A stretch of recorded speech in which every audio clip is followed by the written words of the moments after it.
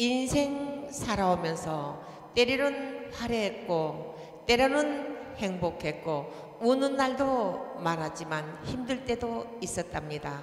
하지만 꿋꿋하게 참아온 인생이 너무 행복하다는 고다훈의 이력서 띄우도록 하겠습니다. 여러분 큰 박수 주시면 대단히 고맙겠습니다.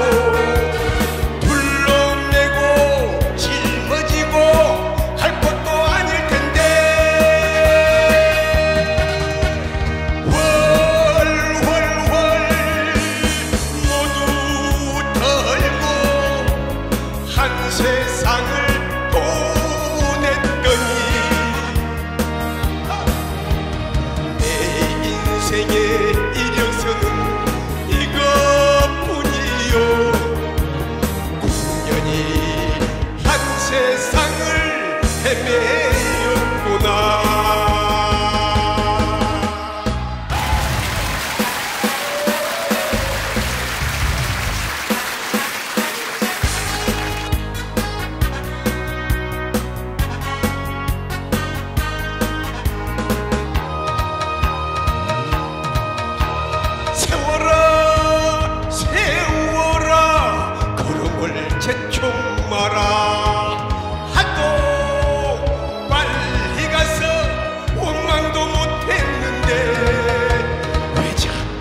Jacu.